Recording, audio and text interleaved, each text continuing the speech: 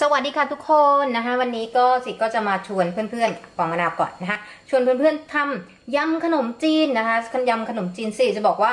เป็นการทำยำขนมจีนเส้นขนมจีนยี่ห้อนี้นะสำหรับใครที่อยู่ต่างประเทศหรือว่าสิเคยกลับไปเมืองไทยเคยไปเสาะหา เพราะว่าเส้นมันอร่อยนะคะ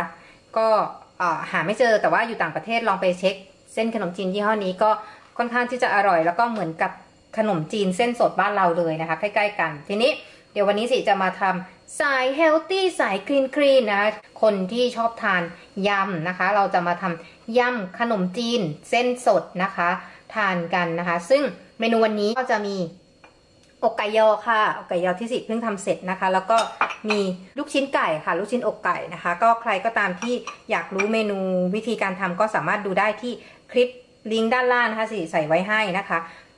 เมนูนี้ธรรมดาธรรมดาทำได้ง่ายมากนะคะ แล้วก็จะแนะนำสิ่งที่สำคัญที่สุดนะคะสำหรับสี่ก็คือตัวนี้ค่ะ เป็นน้ำพริกปลาทูน่านะคะทอดกรอบ ซึ่งเป็นน้ำพริกอินเตอร์นะคะ ใครก็ตามที่สนใจอยากจะได้นะ สามารถดูที่เพจน้ำพริกอินเตอร์ได้นะคะ เป็นน้ำพริกสูตรของสี่เองนะ เอามาทำแล้วก็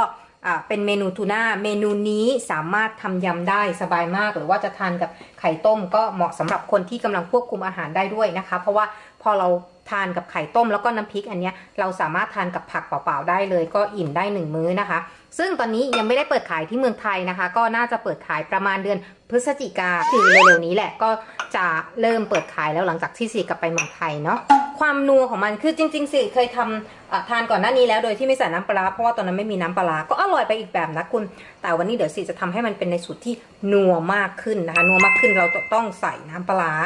น้ำปลาวันนี้สิเลือกใช้ยี่ห้อนี้ค่ะ นางฟ้า เพราะว่าสิริเป็นนางฟ้าสิต้องใช้ยี่ห้อนางฟ้า นางฟ้าใส่เยอะไม่ได้นะตัว เพราะว่านางฟ้าค่อนข้างจะเข้มข้นนะคะ ก็ใส่ไป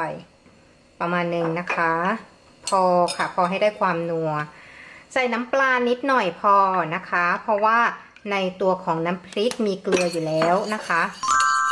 คนส่วนผสมให้เข้ากันนะคะ แนะนำว่า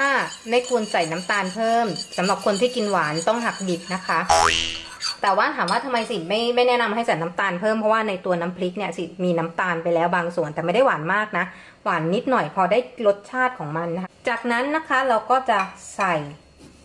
มะนาวลงไปค่ะซีเกียวพอนะคะ อืม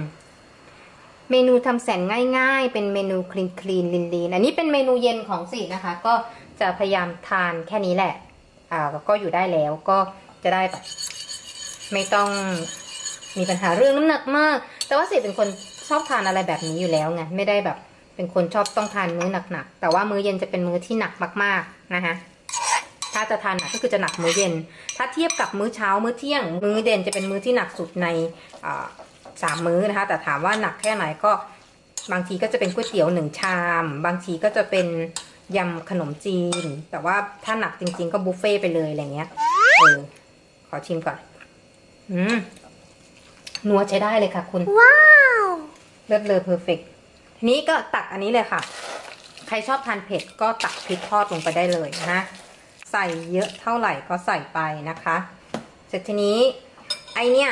น้ำพริกเนี่ยสิทำเป็นรสเผ็ดกลางๆนะคะ เพื่อที่คนที่ชอบทานเผ็ดก็ทานได้ คนที่ไม่ชอบทานเผ็ดก็ ทานได้ คือใครที่ชอบทานเผ็ดอะต้องแนะนำให้ทานพวกพริกทอดควบคู่ไป แต่ถ้าเกิดว่าใครไม่ทานเผ็ดเนี่ยก็กำลังดีเลยนะคะ ทีนี้ด้วยความที่ดิฉันทานยำดิฉันก็จะมีความต้องการให้มันเผ็ดนิดหน่อย ก็จะเติมตัวพริกป่นลงไปนะคะพริกป่นอินเดียค่ะ ค่อนข้างจะเผ็ดพอสมควรนะคะทีนี้ก็คลุกทุกอย่างให้เข้ากันค่ะ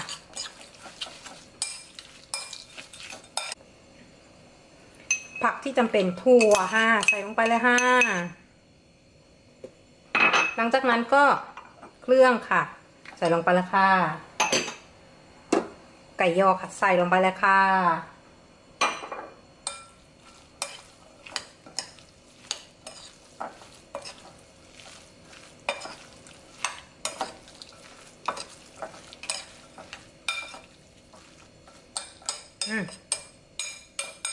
ได้เรื่องละ เดี๋ยวไปตักเสิร์ฟค่ะ เอาละตัวเราจะเสิร์ฟแล้วนะ ก็คือจริง ๆ ก็กินในถ้วยนี้เลยได้แหละ แต่ว่า มันก็ไม่โอเคครับมีคนชอบล้างจาน คือถ้าวันไหนขี้เกียจล้างจานเราก็กินในถ้วยนี้ไปเลยนะ แต่ว่าวันนี้ก็มีความแบบ อยากให้มันดูอลังชางอลังการนิดนึงเนาะ นี่ อันนี้คือจริง ๆ แล้วสิจะใส่ตัวของน้ำพริกหมูกรอบนะคะ วันนี้น้ำพริกหมูกรอบเราหมด แล้วก็จะใส่เป็นหมูกรอบกระเทียมเจียว ตัวนี้สิทำไว้สำหรับใส่ก๋วยเตี๋ยว แต่ก็เข้ากันได้วะ นี่ clean ตรงไหนมีหมูทอดด้วย แต่ว่าก็แบบนึกออกไหม ถ้าสายไม่ clean จ๋าๆก็ลองทำดู แต่ถ้าเกิดสาย clean จ๋าๆก็ข้าม step นี้ไปนะจ๊ะ เดี๋ยวไปจัดการความแซ่บของเราก่อนนะจ๊ะ บ๊ายบายย